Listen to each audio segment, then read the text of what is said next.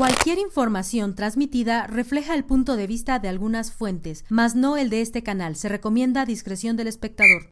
Alfredo Adame presentó formalmente su denuncia contra el matrimonio que lo agredió. Tras protagonizar una riña callejera en días pasados, el actor Alfredo Adame reflexionó sobre si debía o no interponer una denuncia formal contra la pareja que lo agredió en días pasados. Sin embargo, a través del programa Venga la Alegría, el presentador dio a conocer que sí iba a denunciar por robo y tentativa de homicidio a la pareja que lo agredió físicamente. En este sentido, el famoso se conectó en vivo con el programa Venga la Alegría a las afueras de las oficinas de la Fiscalía de la Alcaldía Tlalpan, en donde ocurrieron los hechos, y el famoso reveló que interpuso la denuncia por cinco motivos los cuales sustenta con su relato de los hechos y los videos que circulan en Internet.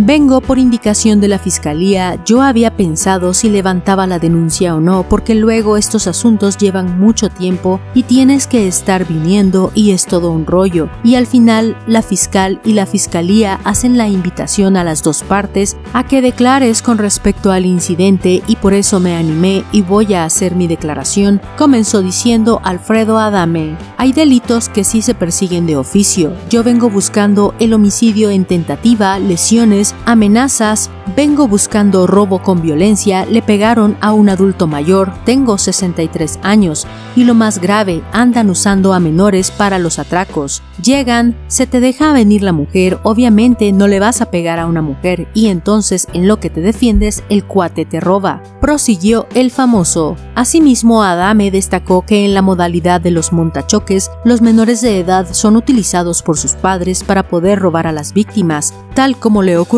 pues destacó el actuar de una niña que durante la pelea con sus padres le intentó sacar la cartera y lo estuvo hurgando. Esos niños los usan para que en el momento en que tú estás distraído, lo que estaba haciendo esta niña era estarme hurgando para sacarme la cartera, reveló Adame. De acuerdo con el actor, la fiscalía ya abrió una carpeta de investigación para conocer más sobre lo ocurrido entre el matrimonio y él, puesto que el tema se hizo muy viral a través de las redes sociales. Incluso el famoso aprovechó para dar a conocer que la pareja que lo agredió ya tiene antecedentes penales, tal como él había sospechado. Suscríbete al canal y te espero en el siguiente video.